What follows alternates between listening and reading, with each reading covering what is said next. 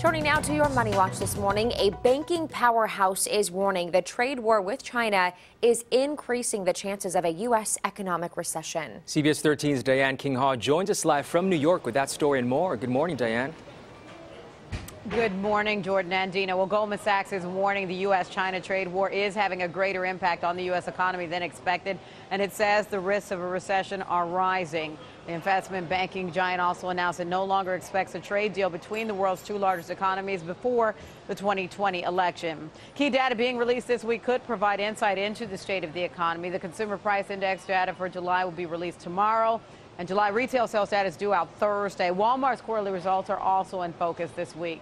And a win for some JP Morgan Chase customers across the border. The bank is forgiving all outstanding debt on two Visa credit cards issued in Canada.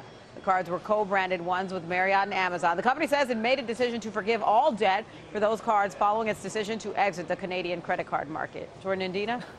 Wow. All right. Thank you so much for all of that, Diane. Also, I know. yeah. There's a lot going on there. We all love that. Um, right? Also, Apple is putting big bucks on the line if mm -hmm. you can hack the iPhone. So, what are the details here? Yep. That's right. The tech giant is putting $1 million on the line to test how secure its operating system is. The bounty will be given to anyone who can hack the core of iOS known as the kernel. Another half million dollars will be rewarded to the person who could find a network attack requiring no user interaction. The reward is open to all researchers or hackers in training. Anyone who has these skills can do it. Dina and Jordan. Wow. I think there are a bunch of hackers out there, or, or ones who think they can. Mm -hmm. Give it a try. Yeah. But a million dollars? I mean, I would just say I wish I had that special set of skills. I'm like, exactly. control alt delete work? I mean, yeah, if we all could figure out a way to do it, it wouldn't be paying a million dollars, that's for sure. All right, exactly. thank you so much, Diane right. King Hall. Have a great rest of your Monday.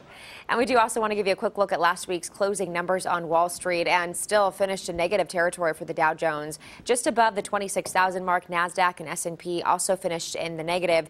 This morning, Globe Life Inc. is going to be ringing the opening bell in just about 15 minutes.